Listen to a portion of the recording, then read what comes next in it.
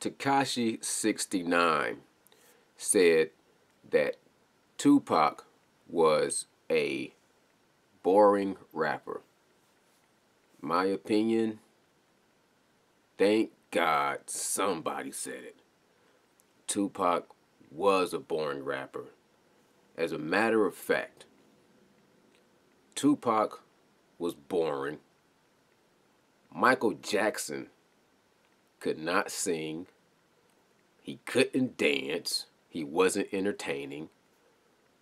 Mike Tyson had no knockout power. He couldn't fight. He was a bum. And Michael Jordan was an average basketball player at best. And he couldn't dunk.